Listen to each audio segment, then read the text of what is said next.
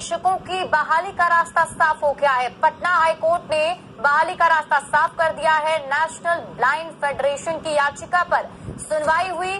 दिव्यांग उम्मीदवारों के आवेदन के लिए वक्त मांगा गया है।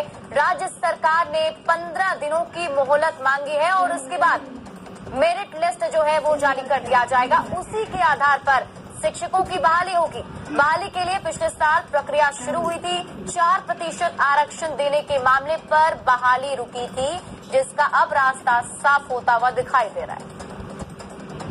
और इस खबर पर अधिक जानकारी के साथ हमारे सहयोगी रजनीश हमारे साथ जुड़ चुके हैं। रजनीश, देखिए, जिस वक्त का इंतज़ार था, वो कहीं ना कहीं आ चुका है। और ये बड़ी राहत की खबर। देखिए विभाग जिस तरह से कल ही शिक्षा मंत्री नीरज से बातचीत में ये अनुमान जताया था कि अगले पंद्रह दिनों में जो बहारी है उसका रास्ता साफ़ हो जाएगा।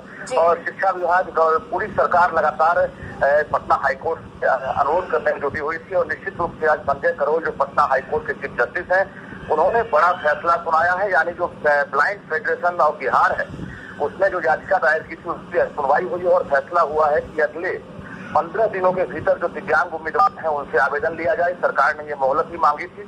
यानी अब जो दिव्यांग उम्मीदवार हैं, उनको चार परसेंट आरक्षण मिलेगा और जिसको लेकर याचिका भी दायर की गई थी। और उसके साथ साथ जो नाइन्टी फोर थाउज़ेंड यानी चौरानवे हज़ार जो प्राइमरी शिक्षक बहाली को लेकर जो वैकेंसी निकली थी, उसके साथ साथ जो सैंतीस हज़ार माध्यमिक शिक्षक के लिए वैकेंसी निकली थी, दोनों की बहाली का रास्ता साफ़ हो गया है। जो टीईटी एस अभ्यर्थी है लंबे समय से इंतज़ार कर रहे थे। बता दें पौने तीन साल पहले विज्ञापन निकाली गई थी चौरानवे हज़ार शिक्षकों के लिए। और बहाली प्रक्रिया शुरू हो रही थी और रुक जा रही थी हाईकोर्ट की वजह से।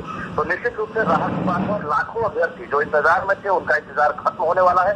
अगले पंद्रह दिनों में जो दिव्यांग उम्मीदवार हैं वो आवेदन देंगे। उसके बाद जो मेरिट लिस्ट है राज्य सरकार जारी करेगी।